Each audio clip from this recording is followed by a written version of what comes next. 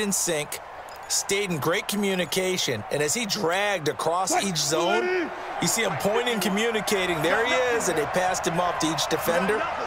Ended up making a nice play, even though it was complete. He's checking, he's checking. Looking to throw again on second down. Wilson. This one into the hands of Metcalf. A good pickup there, 13 yards as they get closer for third down. On third and one, Wilson. He'll find Metcalf. A busy first quarter. His third catch of the afternoon is a first down. We've seen quite a bit of the short passing game here.